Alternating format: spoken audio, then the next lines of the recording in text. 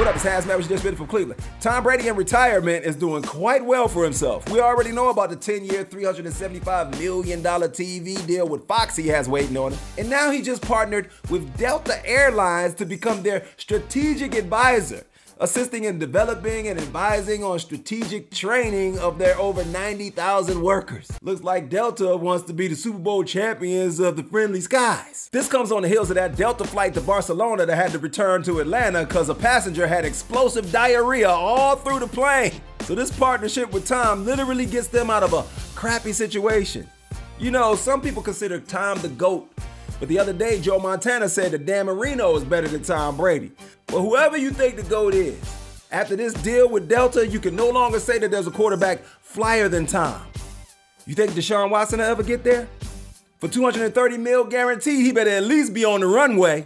This has been HazMatt with your Dish Minute from Cleveland.